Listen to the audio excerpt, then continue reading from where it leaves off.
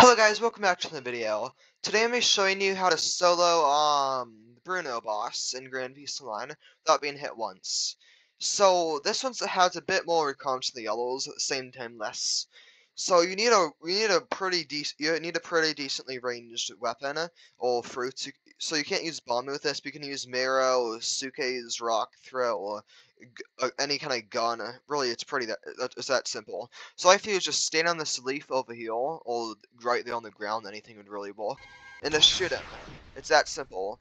So I don't I don't know if this is a glitch or what, but whenever I shoot him from this far away, so he just does not fight back. Like, like, like normally, if he's not aggroing anymore, he would walk back to his spawn, but he just doesn't fight back.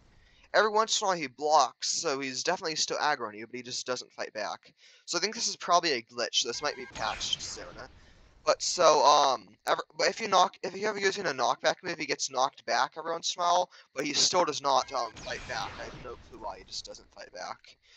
So that's actually it for the video. Thank you guys for watching. I'll see you guys next time. Bye!